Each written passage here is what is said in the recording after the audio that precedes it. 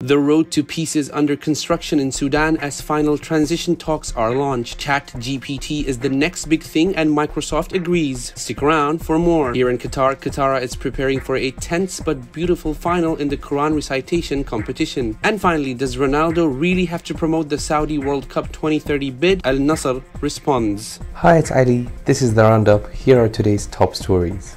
Qatar's Ministry of Foreign Affairs has welcomed the launch of the final phase of Sudan's political process, which sees officials come together to finalize reconciliation. Sudan has faced years of unrest triggered by an ongoing political crisis. However, the final phase of talks is now set to commence following months of negotiations. This comes after a military coup in October 2021 stood in the way of a power sharing government. You may have heard of ChatGPT.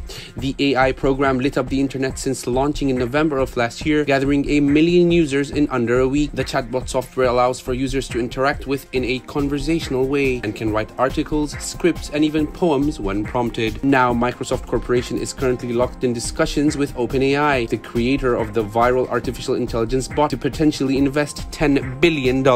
Now, 100 participants have qualified as finalists for Qatar's annual Quran recitation competition. The competition aims to encourage talents to recite the Holy Quran and present them to the world. The 100 participants have been selected from 13 Arab countries and 18 non-Arab countries. And finally, Cristiano Ronaldo's new club team Saudi side Al Nassr FC has publicly denied a rumor that links the superstar to the kingdom's 2030 World Cup bid. Reports had emerged on social media stating that the Portuguese megastar was touted by the Saudi Arabian side in hopes of using his status to promote the bid. However, Al Nassr confirmed his contract has no such clause and said he is there to focus on the club. Thank you for joining us. For more of our stories, head over to our website www www.dohanews.co.